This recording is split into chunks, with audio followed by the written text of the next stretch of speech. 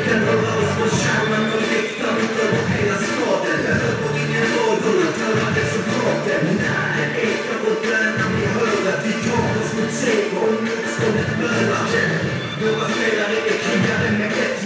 Ja, Emil med artistnamnet Evolution. Har du gjort den här inspelningen, många tagningar. Hur eh, känns det så här efteråt? Det känns jättebra. Jag vill tacka hela Landskrona Boys-laget och alla som har hjälpt till och alla som kom.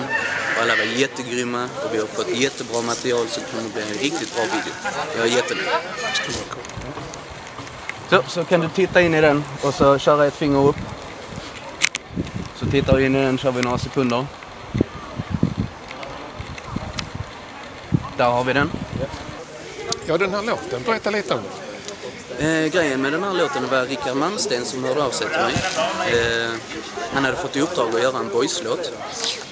Och, eh, eh, och det är självklart att jag var med. Det är jättebra för mig. Det är jättekul. De eh, kommer att spela låten på matcherna. Och det är jätte, jätteroligt. Så jag hakade på direkt. Satte mig ner och började skriva. Jag fick en eh, färdig text av eh, Rickard. Sen så ändrade jag om den lite så, så det blev till min, till min egen stil. Och så gjorde jag en låt. Tanken från början var väl att vi skulle köra lite akustiskt och sjunga lite sådär. Men så tänkte vi, det har redan gjort så många gånger innan så att en riktig krigarlåt som spelarna kan gå ut och bli lite taggade på är mycket roligare än att köra allsång liksom.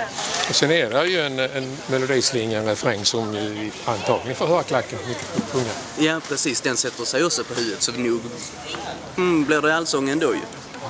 Men eh, lite råare. Sen fick vi se tre legendarer här, Yxa Gustafsson och Claes Cronqvist och Sonny Johansson. Vad kul att de med va? Ja precis, det var jätteroligt att ha dem med och ett stort tack till dem också. Och eh, det, även de scenerna kommer bli jättebra. Körde lite med helikopter så får det bli så scener ovanifrån och sånt så det kommer bli jättebra. Hur är ditt förhållande till boys annars som sport? Eh, jag är inte så jätteinsatt i fotboll överlag. Eh, jag har varit på ett par matcher och så här jag håller ju mest på med musik.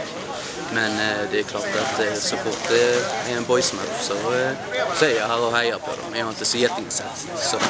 Men det är en stor ära att jag fick vara med och göra låten. Som kommer att framföras för första gången får man se videon den 7 februari. Ja, eh, kanske inte 100% klar men jag ska jobba så snabbt och så bra jag kan ska bli så klart som möjligt.